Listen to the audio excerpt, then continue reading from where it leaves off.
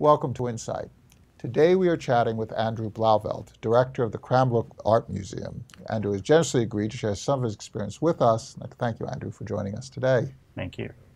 So Cranbrook is so interesting. Talk about the founding of the Cranbrook educational community, and, and then talk about the, the place of the museum within that community. Yes, it's a, it's a very unusual uh, institution and organization.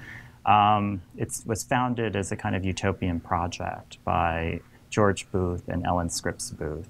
Um, they were publishing magnates in Detroit um, at the turn of the last century. George was um, actually a craftsman before he was introduced into the newspaper industry by his wife's family, the Scripps family. Um, so he was very much interested in the arts and crafts movement, which was, of course, birthed in England in the late 1800s and came over to America in the early 1900s. And so Detroit was one of those cities like Boston that was very much interested in the arts and crafts movement. And they had a vision. They bought a farm.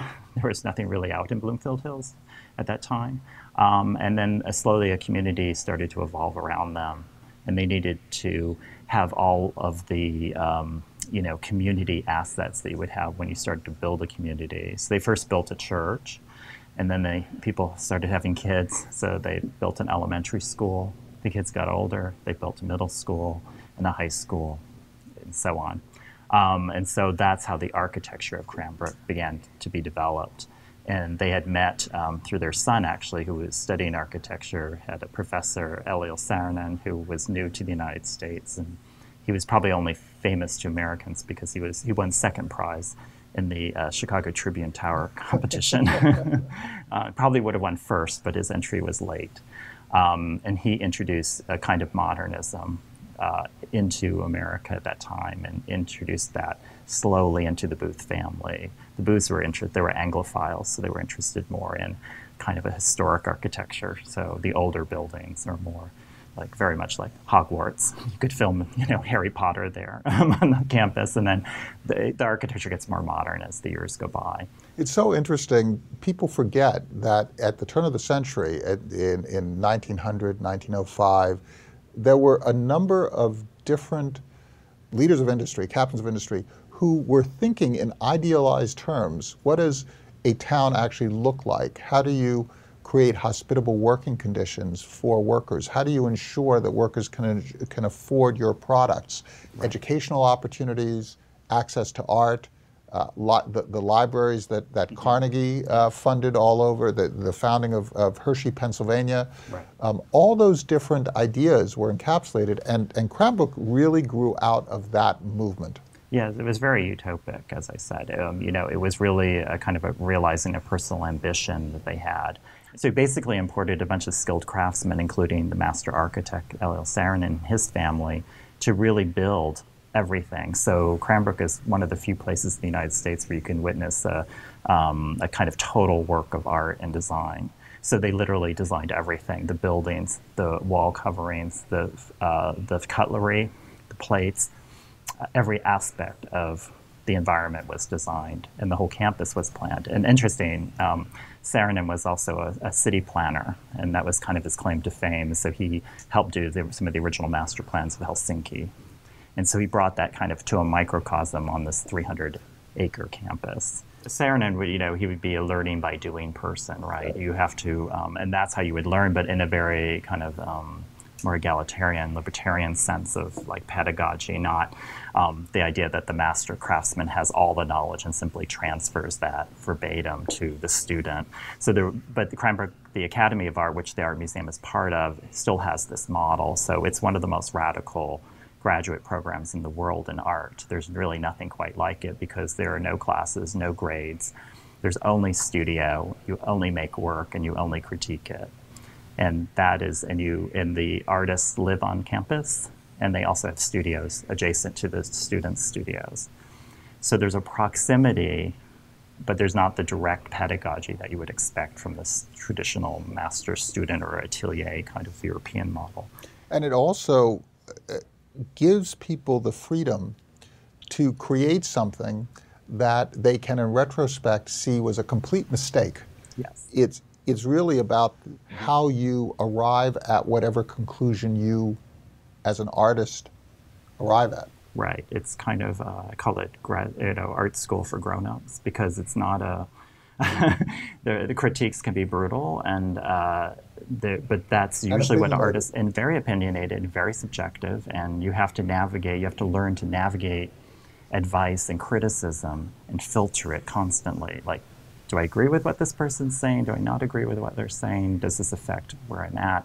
There's no clear model to follow except your own. So it's very scary. That's why I say it's the grown up version of art school. How does that affect what you present at the museum? Mm-hmm. Because there yeah. you've got, again, you have this, this dialogue with the, with the school and with the rest of Cranbrook. Well, we try to encourage in the viewers the, um, the sense of openness and questioning that the students have as part of their daily experience. Are all uh, exhibits and works selected for exhibits, are they selected by an individual? A, a, do you have rotating uh, curatorial selections? How does this work? We do organize a lot of our own um, exhibitions. Lately, we've been trying to kind of mine our own history and, and increasingly more the recent past. We were excited to discover a painting by MacArthur Binion, who is one of the, is the first African American graduate of the painting department at Cranbrook. And um, he went off to New York, very talented, really interesting experiment in, um, at that time, abstraction. But then he introduces a lot of the biography into the work. And his career has been, um, he's, you know, of course, he's always been producing, but then, you know, rediscovered in a sense by the market. And so that also forces us to confront those issues of, of neglected histories. And we had a lot of students who came to Cranbrook who studied from international right. um, for a very long time, and the school is still very much international. Well, all those people didn't really stay in Michigan. They went back to their countries, and they also had impact there. So we're also constantly researching some of those figures too. What happened to this person? So there's a painter in the Philippines. He's deceased now, but he's getting a lot of notoriety now because he helped introduce aspects of abstraction in the Philippines in the post-war period. But he studied at Cranbrook, and that's where he developed those ideas. Interesting. Um, how did you find, you, you've been here for a little over a year. How did you find the transition from your role at the Walker and to be the director of this small museum? Yes. So, um, so Cranbrook is interesting because of that gap that I was talking about, 20 mile gap between Detroit and, and Bloomfield Hills. And Detroit is actually a, you know, an emerging uh, contemporary art scene and market. It's very scrappy, yes. um, in part because of the low cost of overhead there. Right. So it's become very attractive, and so the scene is starting to develop, but that's 20 miles away. So a lot of the programming that we're looking at now is really outreach programming to the communities in Detroit.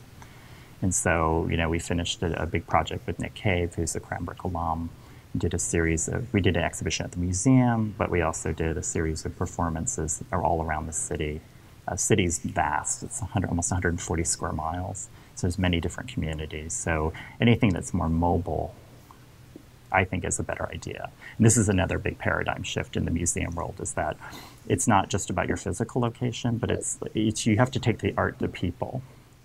Is the big movement, and that that's counter to a lot of people's thinking. And it's okay if it just goes to the people. Yes. And this is where we have the interesting discussions with boards or, you know, did they have to come back? And I'm like, well, I don't know. Did they have the experience? You know, and with Cave, it's it's arguable that if he's wearing the costumes and others are wearing the costumes, the amazing things that he creates, mm-hmm. and they're create, created to be worn and performed in. So if you actually see it in use, if you go to the museum, you can see it static. But if you see it in use, it's, it, it, it has I, a different argue, dimension. I would argue it's a superior experience, right? Right. So the superior experience was actually delivered to the people in the community in that case. It's an unusual case, but it's true.